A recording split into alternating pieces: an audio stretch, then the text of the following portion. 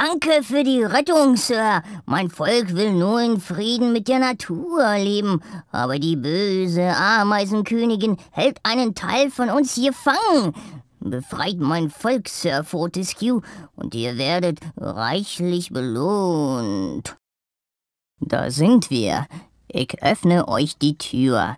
Diese Glühwürmchen sind meine Freunde und leuchten euch in der Dunkelheit.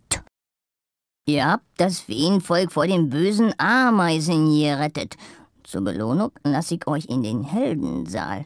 Ich war zwar noch nie dort, aber ich hab gehört, da drin gibt's Freigetränke.